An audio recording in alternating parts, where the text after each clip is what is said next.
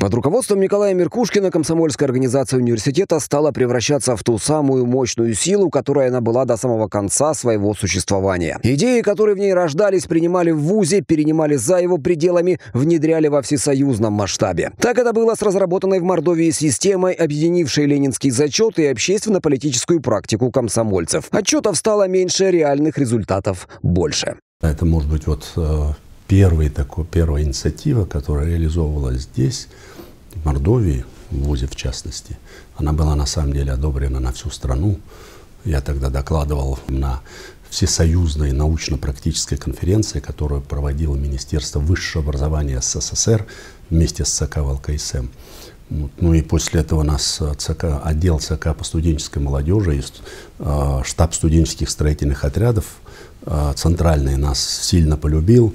И наши отряды очень сильно пошли в горы, которые были студенческие отряды, э, там одним из лучших в стране. Комсомол Мордовии уверенно выходил на всесоюзный уровень. Семинар по трудовому воспитанию молодежи для секретарей ЦК ВЛКСМ союзных республик, крайкомов и обкомов провели именно в Саранске. И снова уникальный опыт, накопленный комсомольцами Мордовии, рекомендовали внедрить во все комсомольские организации страны. На его основе писали научные работы, защищали диссертации. Кто только не приезжал, кто только не учился в Мордовии. Ну, это потому что весь актив был такой вот заряжен на позитив. Это очень важно.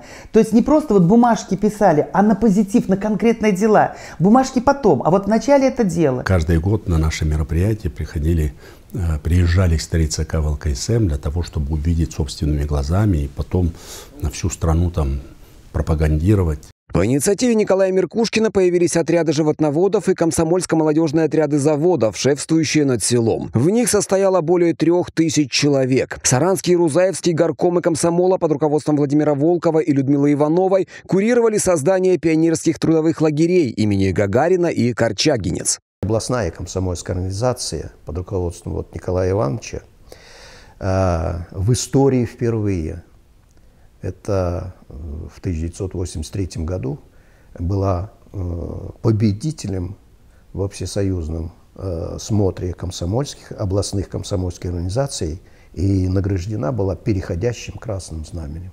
Это было для комсомола Мордовии историческим событием. Вот эти два главных, это второе это э, Совет министров РСФСР, это уже правительственное знамя, не комсомольское, а правительственное, федеральное. Э, ВЦСПС и ЦК ВЛКСМ вручали знамя за отряды, студенческие, строительные прежде всего, отряды. Вот.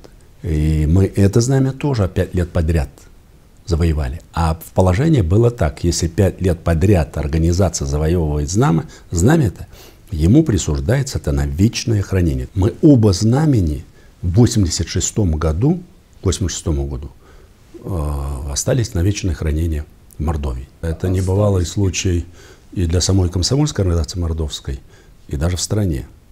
Чтобы два главных знамени, это за комплексе за работу комсомола, да, и за работу отрядов студенческих строительных, вот комсомольской молодежи с предприятий в итоге, трудовых отрядах школьников, там педотряд, педагогические отряды. Вот это целый пласт поднятой работы. В 1985 году Николай Меркушкин, как один из известнейших и наиболее уважаемых комсомольских лидеров страны, выступает на пленуме ЦК ВЛКСМ. Вопрос острый о совершенствовании стиля, методов и форм работы комсомольских организаций. Проблем накопилось много, потому аудитория горячо поддержала выступление. А результаты пленума комсомола рассмотрела Политбюро ЦК КПСС. Такого не было ни до, ни после. Результаты работы Николая Меркушкина в комсомоле государство оценило очень высоко. Ни у кого из руководителей обкомов не было такого набора наград.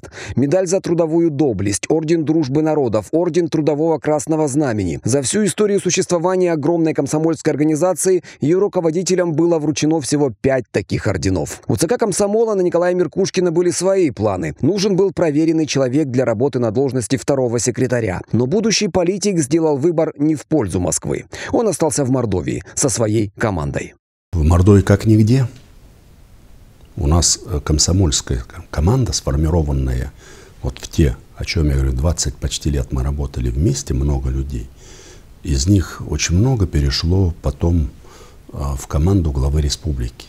вот результат, который мы в итоге имеем, и вплоть до чемпионата мира, что в Саранске, это результат прежде всего той работы.